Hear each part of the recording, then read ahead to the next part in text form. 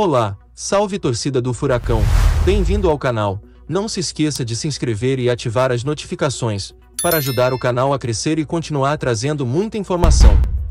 O Atlético recebe o Libertad na Arena da Baixada, pela quinta rodada da Libertadores do Grupo B. O jogo começa às 7 da noite desta quarta.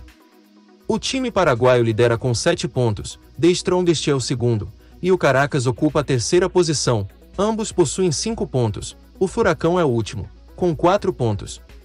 Para o Furacão é um jogo que significa muito para o restante da temporada, é tudo ou nada. Felipão, que é experiente nessa competição, convocou a torcida para torcer e incentivar até o último minuto do jogo.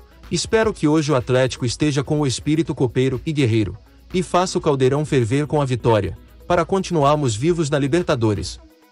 A transmissão do jogo será feita pela Comebol TV, veja o provável time na descrição do vídeo. O que você torcedor acha? Qual vai ser o placar do jogo? Comenta, deixa um like e se inscreva no canal.